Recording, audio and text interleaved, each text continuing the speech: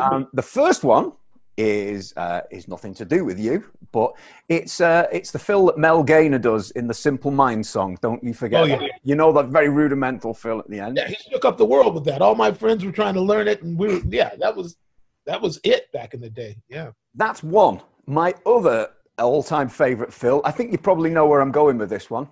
Yeah, I mean it's it's the it's the eternal question.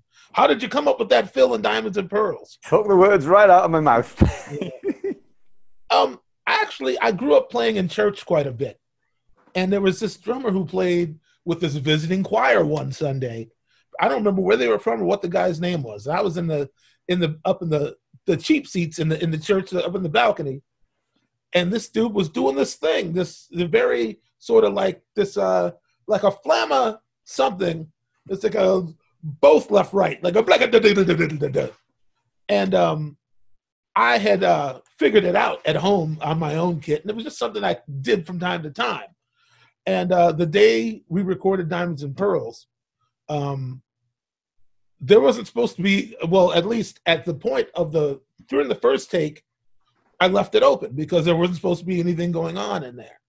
And uh Prince said, let's do it, uh let's let's let's do another take. This time, uh we'll take a beat out of this section and in that fill in that hole, put something in there. You know, something you you know, something you want people to remember. And I went, okay. So the entire take, I'm trying to figure out what am I going to put in this space when it comes up. And I just kind of extended the fill and figured it out, and and it there it was. It was out there, and, and out of me and onto the tape, and the the rest is just. I mean, I, that dude is probably mad somewhere now. that was that was my idea. That was one of my concepts. But uh, you know, who knows? What He a might great, be dead. what a great fill! Did Prince instant? excuse me. Did Prince instantly sort of go? That's the one. Yeah, I mean, he was just like, okay, great, and and we left after that take. It was two takes with, with a slight edit and um and the fill. I just I was it just went through my head like, yes, Yeah. okay, this is kind of like some like some some uh because it's kind of like art rocky. It's kind of fusion, you know, like Genesis or something. Yeah.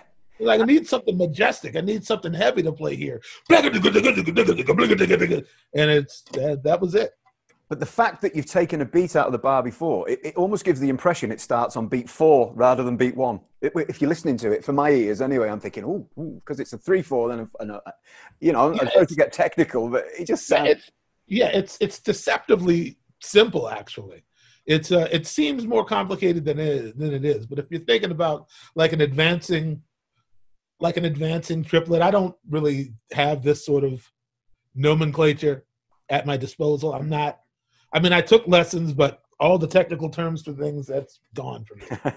But it's kind of like both left right kick drop like a blicka um. yeah. But if you just keep moving, it's uh, it becomes this rhythmic displacement where it's the same figure, but it's ending at different spots. It just works p- it- perfectly.